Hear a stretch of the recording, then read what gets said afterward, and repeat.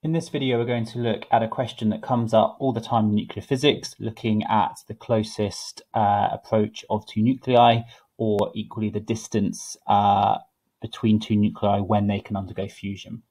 So pause the video now and try both parts of this question. So in part A, we have two helium nuclei which are moving towards each other, and we want to know how much kinetic energy they need to get to a certain distance. So what we need to do here is we need to equate uh, the energy of the nuclei with the electrostatic um, energy effectively uh, between them due to the electrostatic repulsion. So what we need to realize is that the electric potential between the two charges varies according to this formula. But this on its own, we can't equate this to potential energy. We can't equate this, sorry, we can't equate this to kinetic energy because this is the electrical potential. It is not the kinetic energy. So what we need to do is we need to use our relationship between the electrical potential energy and the electrical potential, which is given by this relationship here.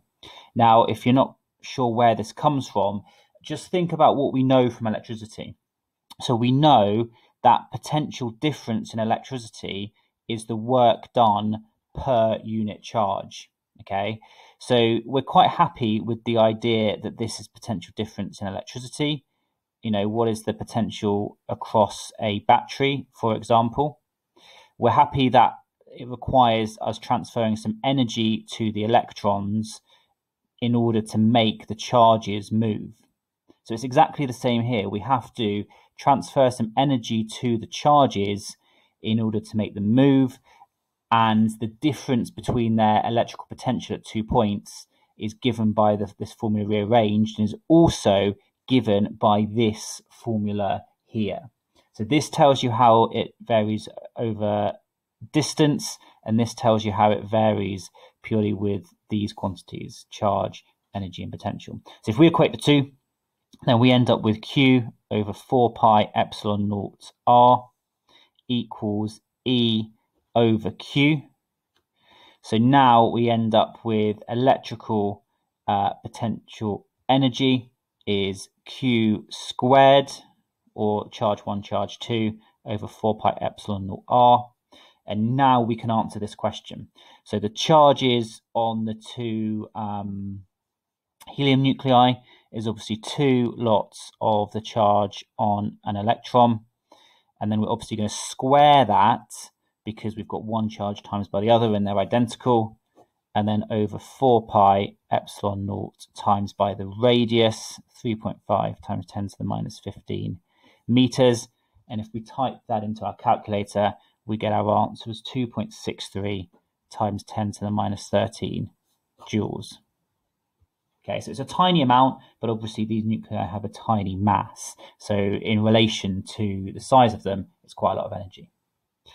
In part B, we're asked to find the temperature that this relates to. So how much kinetic energy will one nuclei or one nucleus have? It will obviously have the total kinetic energy divided by 2 uh, because our questions told us to assume that.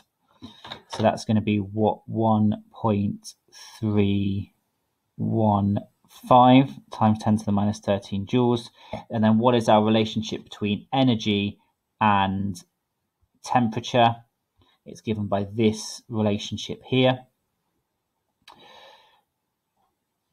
So this is the Boltzmann constant. This is the temperature in Kelvin, and this is the energy, which is this here. So if we plug in our numbers, we get our answer of one, uh, sorry, 6.4 times 10 to the 9 Kelvin. So obviously a massively high temperature, but of course we would expect that in order for fusion to occur.